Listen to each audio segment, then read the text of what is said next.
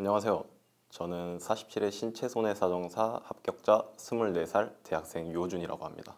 어, 일단은 합격해서 너무 기쁘고요. 사실 제가 이제 시험을 준비하기 전에 합격자분들의 인터뷰를 미리 유튜브에서 보면서 아, 나도 합격하면 이거 나중에 꼭 해야겠다 이렇게 생각을 했었는데 제가 실제로 이걸 하는 순간이 와서 기쁩니다. 음, 제가 23년도에만 이제 23년도에 1차를 준비하고 이제 그해 2차는 따로 준비하지 않았습니다.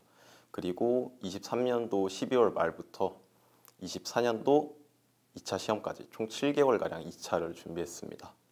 사실 제가 이제 문과 쪽을 전공하고 있는데 문과 취업 시장이 요새 많이 힘들기도 해서 이제 8대 전문직으로 좀 이제 전문직을 하고 싶다 생각을 해서 이제 좀 알아봤었는데 기본 수험 기간이 최소 한 3년은 이제 깔고 들어가는 것 같더라고요. 근데 이제 손해사정사는 단기에 합격이 가능하다는 점과 전문직이라는 점에서 이제 매력적이라고 생각을 해서 준비를 시작하게 되었습니다. 어, 일단 인스티비를 선택한 이유는 뭐 교수님들의 명성이나 아니면 뭐 강의력 이런 거는 워낙 훌륭하시니까 이제 뭐 차치하더라도 이제 제가 합격자분들의 이제 합격 수기를 좀 분석을 해봤을 때 아, 보수적으로 잡아도 한 100분 중에 한 80명 정도는 거의 인스티비를 수강하고 있다는 점이었습니다. 합격자분들 대부분이 인스티비를 수강하고 계신데 만약 제가 다른 학원을 수강했다가 이제 인스티비에서 알려준 것이 시험에 나왔다. 근데 이제 만약에 다른 학원에서 안 알려줬다. 이러면 이제 합격에 좀 큰 영향을 줄 수 있을 것 같다고 생각을 해서 어, 인스티비가 수험에 가장 최적화된 강의라고 또 생각을 해서 인스티비를 선택하게 되었습니다. 1차 같은 경우는 제가 이제 학업을 병행하면서 준비를 했었다 보니까 사실 강의 들을 시간이 조금 부족했었습니다. 그래서 어, 강의 같은 경우는 이제 윤종길 교수님의 보험계약법 기본 이론 강의와 그 다음에 팔리특강을 들었었고요. 그 다음 이제 보험업법과 손해사정 이론 같은 경우는 이제 윤금옥 교수님의 핵심 요약 강의만 이제 배석으로 보면서 이제 중요하다고 짚어주시는 부분을 책에 표기하면서 그냥 그렇게만 들었던 것 같습니다. 사실 이제 보험업법이나 손해사정 이론 같은 경우는 시간이 모자라시면 이제 안 들으셔도 되는데 손해사 그 보험계약법 과목 같은 경우는 이제 휘발성도 적고 그리고 2차 준비하는 데 있어서 또 엄청나게 도움이 되는 과목이기 때문에 음, 반드시 이제 윤종길 교수님의 강의를 통해서 좀 이해 위주의 학습을 하시는 것을 추천드리고요. 또 이제 1차 시험 준비를 하는 데 있어서 가장 중요한 것은 저는 이제 객관식 기출의 이제 활용이라고 생각을 합니다. 음, 이제 저 같은 경우는 이제 문제를 풀면서 이제 맞건 틀리건 그 선지 하나하나를 이제 분석해 가면서 공부를 했었습니다. 그렇게 하다 보면 이제 처음에는 조금 오래 걸리실 수도 있는데 이제 뒤 회차로 갈수록 음, 이제 시간도 좀 줄어들고 그리고 모르는 선지도 사실 없어져서 네, 그렇게 준비하시는 것을 추천드립니다. 근데 이제 선지를 뭐 하나하나 외운다고 그렇게 생각하지 마시고 그냥 이제 객관식이다 보니까 이제 눈에 약간 바른다는 식으로 학습을 하시는 것을 저는 추천을 드리고 싶습니다. 어, 일단 2차 공부 이제 학습법을 말씀하기 앞서서 저는 일단 이 의학 이론이 사실 손해사정사 시험의 가장 핵심이라고 생각을 하는데요. 네. 어, 다른 합격자분들을 보면 실제로도 그런 것 같습니다. 이제 의학 같은 경우는 반드시 70점을 넘기겠다는 목표로 학습하시는 것을 일단 먼저 추천을 드릴게요. 그리고 저 같은 경우는 의학 이론의 경우 김윤아 교수님의 강의를 수강했습니다. 김윤아 교수님의 장점이라 하시면 일단 비전공자인 제가 들었을 때도 이제 이해를 하기 쉽게 정말 잘 설명을 해주시고 또 이제 평소 주시는 자료들이나 아니면 이제 모의고사의 적중률 이런 게 정말 너무 좋으셔가지고 어, 정말 추천드리는 교수님이십니다. 이제 제가 추천드리는 2차 학습법은 어, 일단 기본 강의 때는 음, 하나하나 다 외우려고 하지 마시고 일단 뼈, 인대, 뭐 근육 이런 같은 주요 구조물을 위주로 외우신 다음에 이제 상해 부분을 이해만 하시면 사실 기본 강의 단계에서는 어, 큰 문제는 없다고 생각합니다. 이게 사실 기본서가 500페이지가 넘다 보니까 이제 암기하는 것도 저는 어, 불가능하다고 생각하고 딱히 기본서를 다 외우시지 않아도 네, 괜찮은 것 같아요. 근데 이제 2월 달에 김윤아 교수님이 출간하시는 이제 의학이론 요약집이 있는데 그거는 이제 저는 개인적으로 그냥 통으로 다 외우시는 것을 추천을 드립니다. 이게 제가 생각했을 때는 그 의학이론 요약집만 완전히 외우신다면 어, 70점 이상은 의학이론 70점 이상 반드시 가능하다고 생각을 하고요. 아무리 못해도 그 요약집에 있어서 상해 부분은 완전히 다 암기를 하셔야 된다고 생각합니다. 그리고 이제 이렇게 의학이론 요약집을 다 암기를 하시면 사실 모의고사 기간에 들어왔을 때도 음, 김윤아 교수님의 문제 같은 경우는 일단 아마 모르시는 문제가 없으실 거예요. 그러면 이제 모르시는 문제가 없으니까 다른 학원 모의고사도 같이 볼 여유가 생기거든요. 그래서 이제 다른 학원 모의고사도 같이 보시면서 어 이제 다 숙지를 하시면 이제 80점 이상은 반드시 가능하다고 저는 생각합니다. 어, 저는 제3보험 같은 경우는 윤종길 교수님의 강의를 수강했습니다.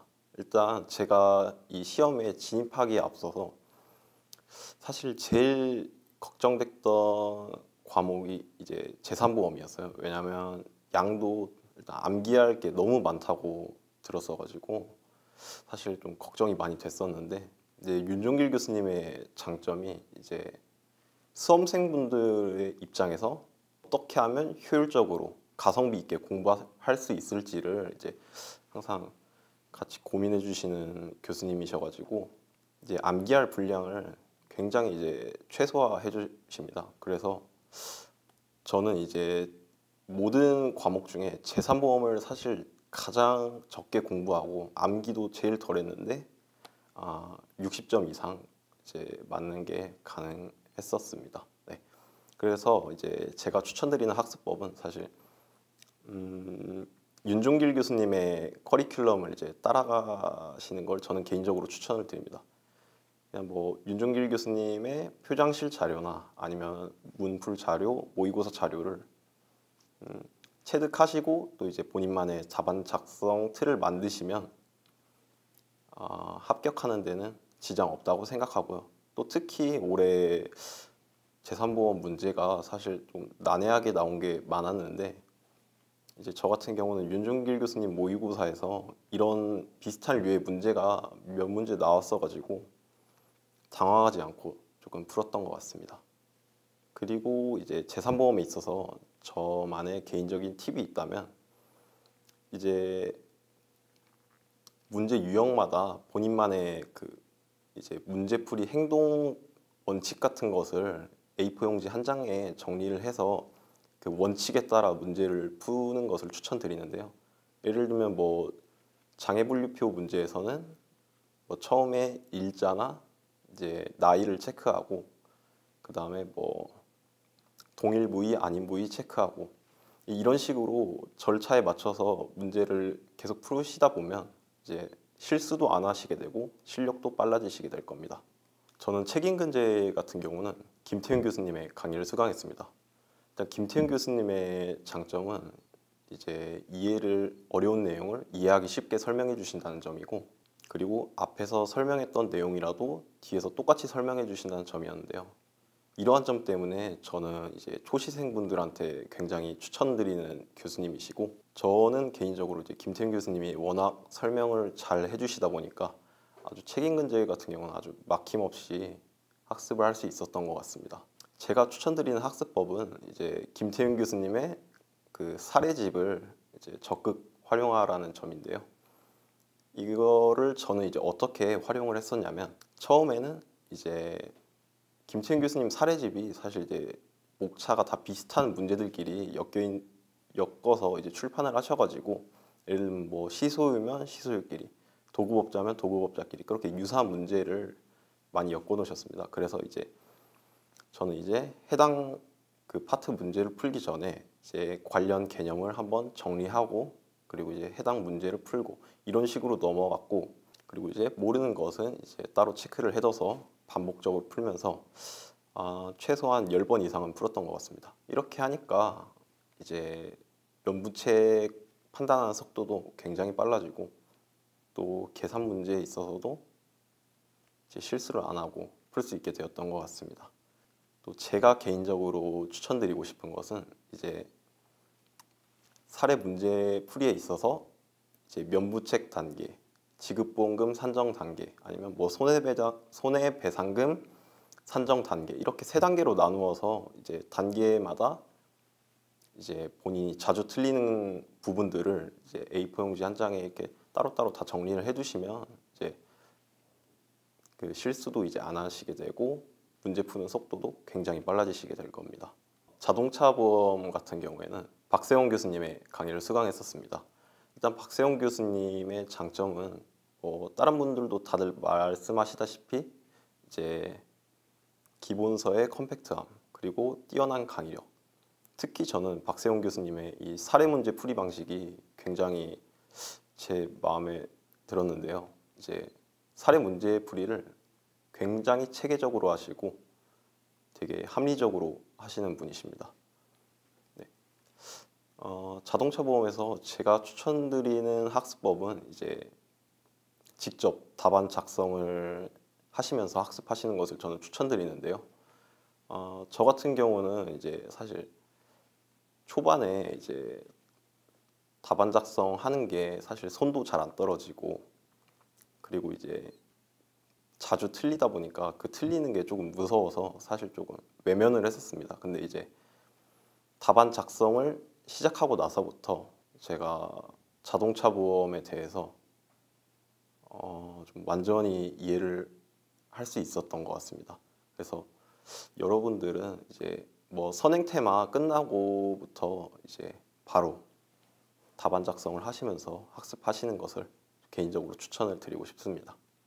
어, 저는 개인적으로 책임근제 과목이 가장 재밌었던 것 같습니다. 이제 그 이유를 생각해 보면 김채윤 교수님이 사실 설명을 굉장히 쉽고 재미있게 설명을 해주셔가지고 이제 뭐 이해하는데도 막힘이 없었고 이해가 잘 되다 보니까 기출 문제도 잘 풀려서 그냥 이제 책임근제 같은 경우는 뭐 그냥 막힘 없이 슬슬 학습했던 것 같고 실제로도 시험에서 고득점을 얻을 수 있었던 과목이었습니다.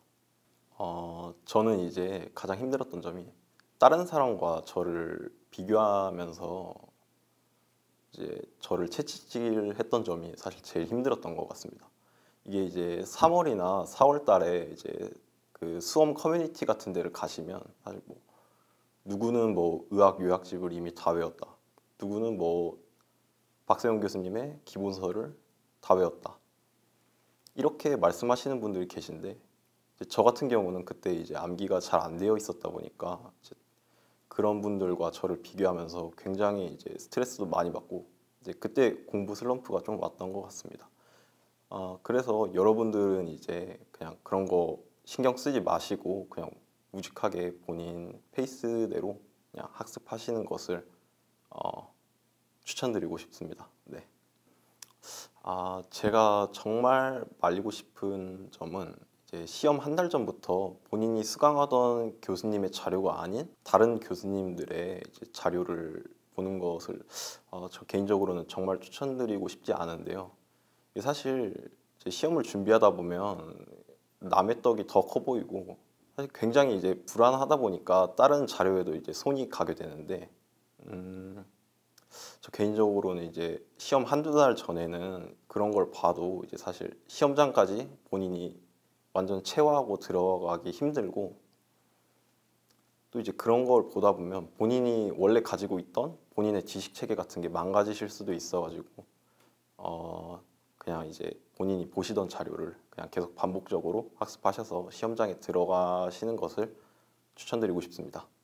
어, 저는 개인적으로 스터디를 하진 않았는데 이제 지금 와서 돌이켜 생각해 보면 스터디를 했으면 사실 굉장히 효율적으로 학습할 수도 있었을 거라는 생각을 하기는 합니다.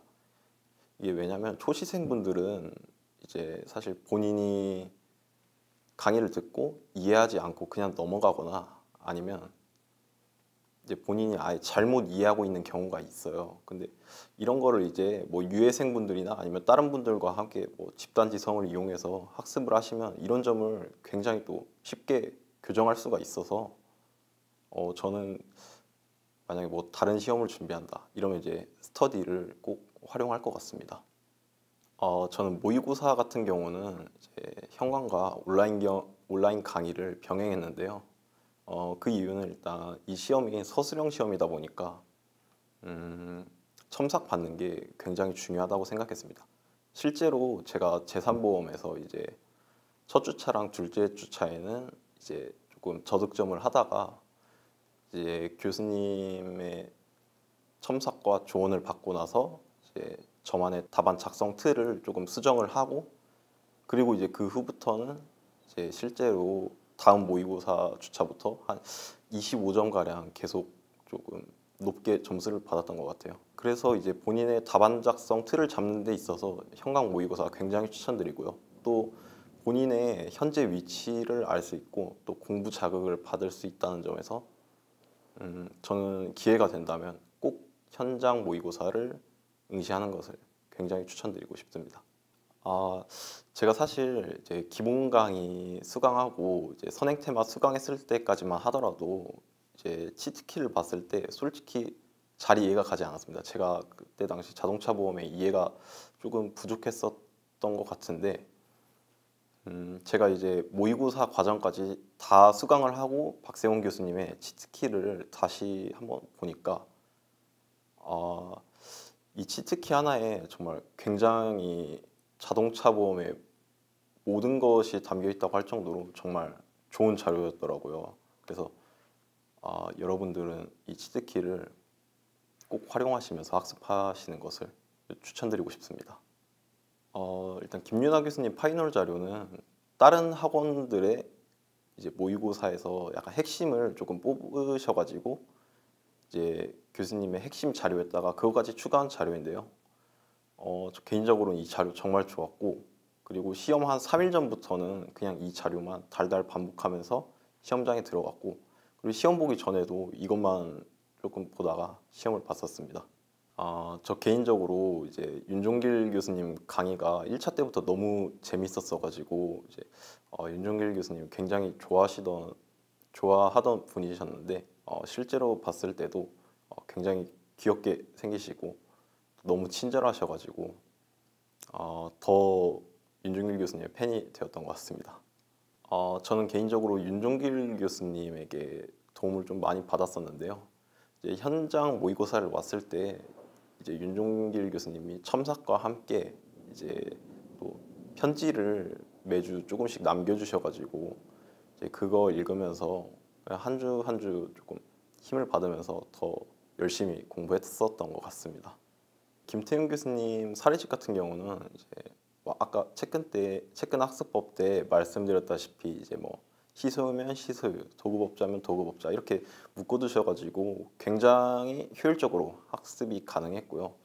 이게 사실 처음에는 그리고 푸시는데 오래 걸리실 수 있어도 이제 반복해서 푸시다 보면 저 같은 경우는 시험 전에는 한 1시간에 30문제 정도 빠르게 훑으면서 학습이 가능했던 것 같습니다. 어, 제가 추천드리고 싶은 시험장 팁 첫 번째는 일단 시험 시작 2시간 전에는 시험장에 가셔서 시험장에 조금 익숙해지시고 그리고 이제 긴장 푸시는 것을 개인적으로 조금 추천드리고 싶습니다.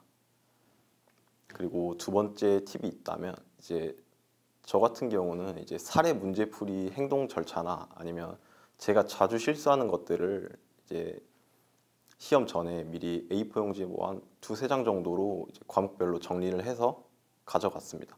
왜냐면 이게 이제 시험 사이사이에 쉬는 시간이 한 사실 굉장히 짧습니다. 그래서 이제 약술 훑기에는 시간이 조금 부족하고 이제 과목별로 이제 과목별 마인드를 바꾸는 데 있어서 이러한 사례 문제풀이 행동 절차 이런 것을 이제 정리해 가시고 빨리빨리 훑으면 이제 그 마인드 전환이 굉장히 빨리 돼서 어, 저는 개인적으로 이거를 좀 추천드리는 편입니다. 사실 이 손해사정사라는 시험이 짧게는 몇 개월에서 길게는 몇 년 정도 걸리실 수 있는 시험이신데 사실 이제 공부를 하시다 보면 굉장히 힘든 순간이 이제 오시게 될 거예요. 근데 이제 그때마다 본인이 하시던 공부를 의심하지 마시고 본인 스스로를 믿으면서 끝까지 우직하게 나아가시면 반드시 합격하실 수 있으실 거라고 생각합니다. 네, 다들 합격하시기를 바라겠습니다. 감사합니다.